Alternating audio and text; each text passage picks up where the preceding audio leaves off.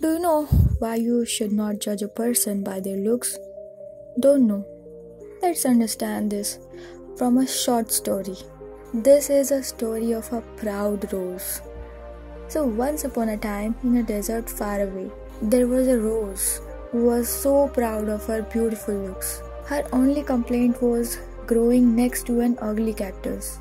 Every day, the beautiful rose would insult and mock the cactus on his looks, all while the cactus remained quiet.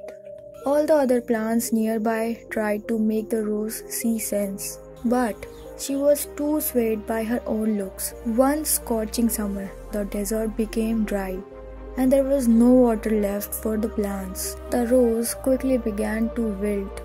Her beautiful petals dried up, losing their lush colors.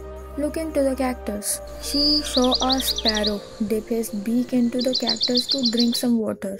Though ashamed, the rose asked the cactus if she could have some water. The kind cactus readily agreed, helping them both through the tough summer as friends.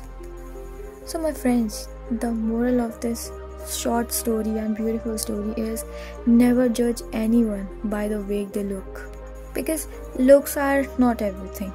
People can surprise you if you give them a chance. It's like judging a book by its cover. Sometimes the real story only unfolds when you take the time to open it up and read what's inside. So, it's essential to look beyond the surface and understand the complexities and richness of individuals before forming opinions. And again, I'm reminding you Never ever judge a person by the way they look. I think you learned the lesson. If you really did, give this video a thumbs up and subscribe my channel for more inspirational content.